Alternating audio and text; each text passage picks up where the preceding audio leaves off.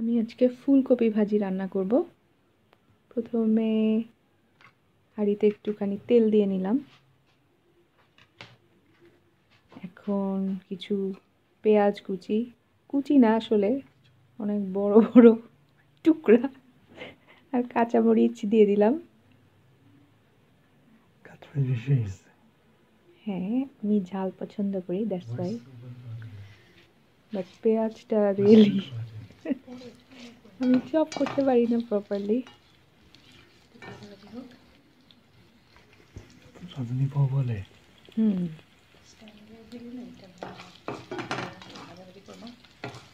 ভগবান তো রাঁধুনি হুম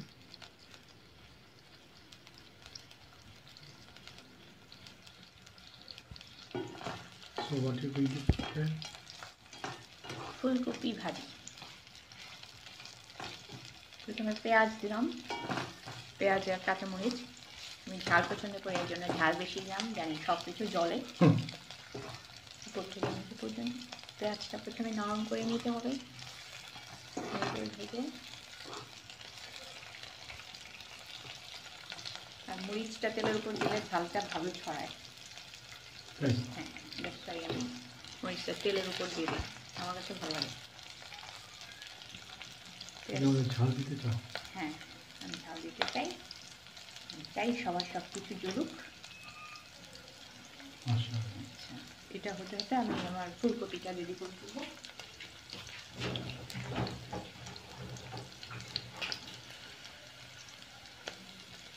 তো হেমা করি। হুম।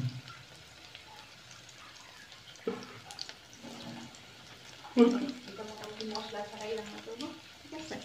ওটা হয়ে গেছে এখন আমি আমার ফুলকপিগুলো এটার মধ্যে দিয়ে দিব।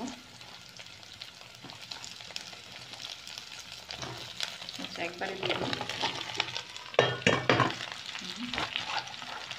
দিয়ে দিলাম। একটু লবণ দিব। লবণটা আমি আন্দাজ আন্দাজ মতো দিলাম। লবণ। এরপরে আমি একটু হলুদের গুঁড়ো দিব এক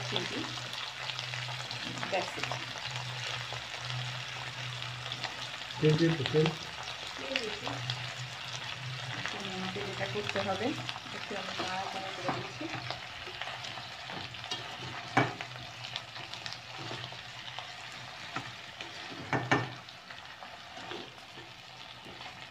এটা একটু মিডিয়াম টু হাই হিটে ভাজবো আমি যেহেতু আমি পানি অ্যাড করব না। বুঝছ? পানি দিলে আমার একটু নরম বেশি হয়ে যায় ফুলকপি আমার ভালো লাগে আমার আস্তে আস্তে ফুলকপি ভালো লাগে।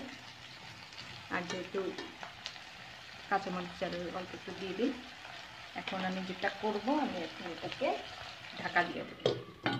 এটা এর মধ্যেই সিদ্ধ হয়ে যাবে। ওকে এবার স্টপ করো। সিদ্ধ হতে। রান্না মোটামুটি শেষ। আমি এখন গার্নিশিংয়ের জন্য আমরা পুদিনা পাতা পছন্দ করি। আমি পুদিনা পাতা ভালোবাসি। আর আমার জন্য একটা বোম্বাই মরিচ। এটা কেটে দিচ্ছি না, তাহলে খুব বেশি ঝাল হয়ে যাবে। That's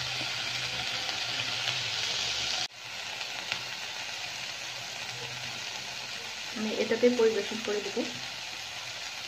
আমাকে হাঁড়ি ধুতে হবে না বাই বাই